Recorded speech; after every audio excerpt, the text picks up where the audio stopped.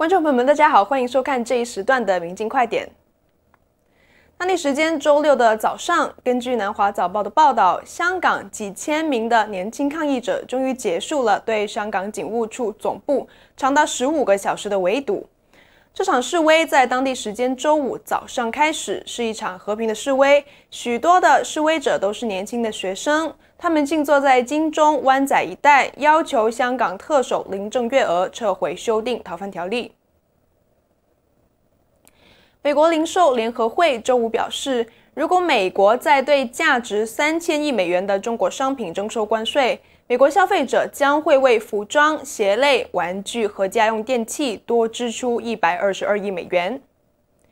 协会上负责政府关系的高级副总裁 David French 在一份声明中表示：“我们行业的所有市场参与者不可能同时将采购业务转移到其他国家，没有这么多的产能。”而包括 J.C. p e n n y 和梅西百货在内的许多的零售商，都在本周美国贸易代表办公室举办的听证会上，反对对中国商品征收更多的关税。根据纽约联储银行数据，美国消费者负债持续攀升，到今年首季度已经达到了十四万亿美元，超越了零八年时候的十三万亿美元。以美国三点二七亿的人口计算，人均负债比飙升到了四十一四十一点七七美元。有专家指出，目前美国经济环境虽然不差，负债虽高，但是拖欠不严重，情况比金融海啸时候还要好一些。但是唯独是美国联储局释放出了减息讯号，借贷成本下降，债务是进一步扩大。一旦经济转向，恐怕会成为潜在炸弹。周五早上，中国媒体《环球时报》的总编胡锡进在推特发文表示，中方关注贸易协议的公平性，最重要的是美方必须撤销自贸易战以来所有新开征的关税。直到现在，我想我说知道的是，中国不会接受美国保留部分关税的协议。而来自中美两国的贸易代表团队，最早可能在下周二就会在日本大阪见面进行谈判。并且为 G20 川崎的正面会晤准做准备。本周日，美国移民和海关执法局 ICE 将会在美国十个城市开展清除无证移民的行动。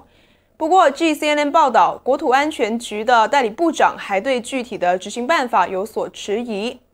但是在本周早些时候，ICE 的代理局长马克·摩根就曾经表示。ICE 将会针对接到美国移民法院遣送离境令的家庭进行驱逐，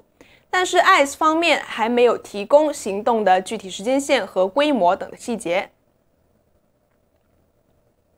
费城警务处十九日宣布，正在调查是否有警员在脸书发布具争议性的言论。目前有七十二人被调往文职，部分人更有可能会被解雇。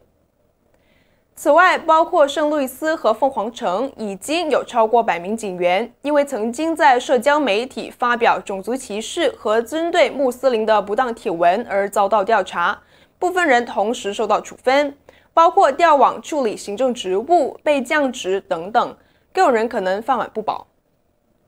而监测警员社交媒体活动的组织“清楚视野计划”本月公布了报告。表示，在审视全国八座城市的执法人员脸书账号后，在三千五百个现任或前任警员的档案中，发现部分帖文讽刺穆斯林和伊斯兰教。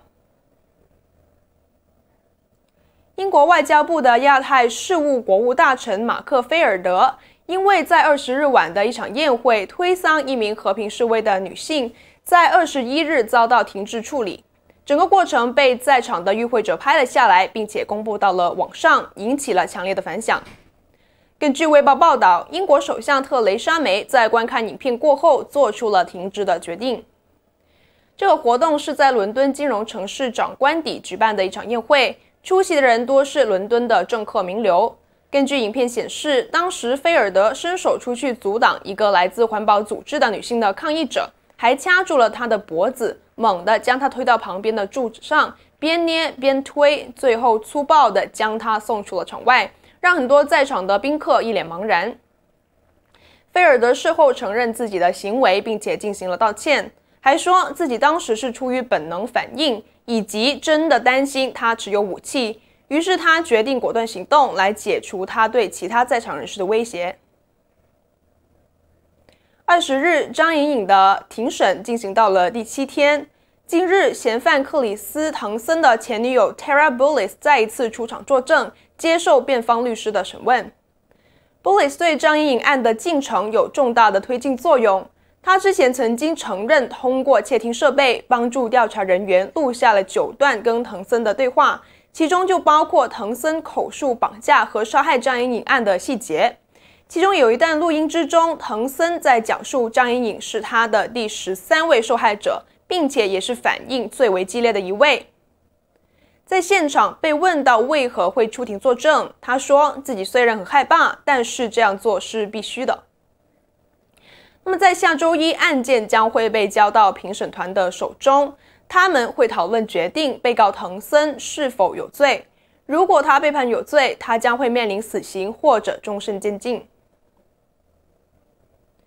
中国的两大乳业巨头伊利和蒙牛近日又起了争端，一切源于蒙牛宣布将于二十三日的奥林匹克日与可口可乐以饮料为名义赞助国际奥委会。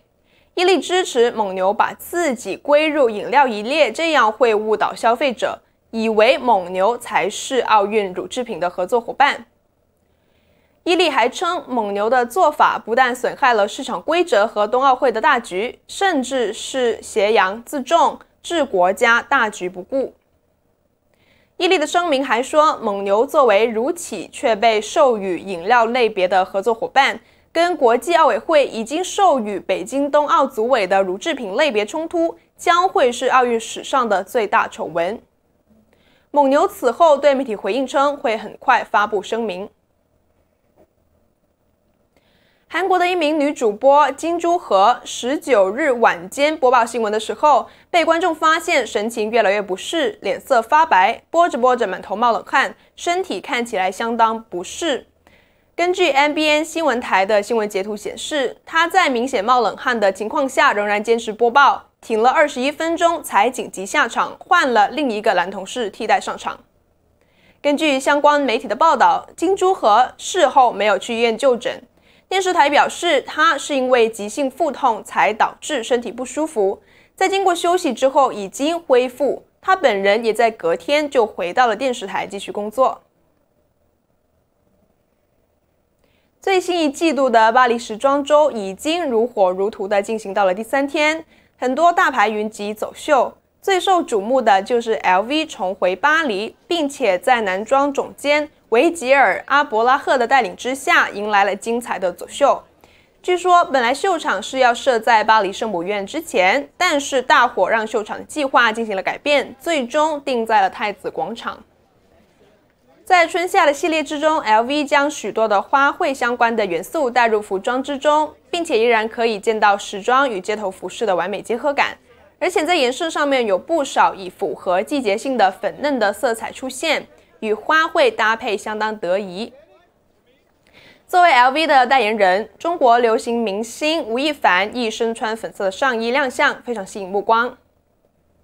以上就是这一时段的《明镜快点》，我们下期节目再见。打开明镜电视，每次都是新世界。节目中言论为个人见解，不代表明镜的观点或立场。YouTube 频道名：明镜火拍，苹果博客名：明镜火拍音频版。网站 triple w minjingnews.com，推特 at minjingnews，脸书 facebook.com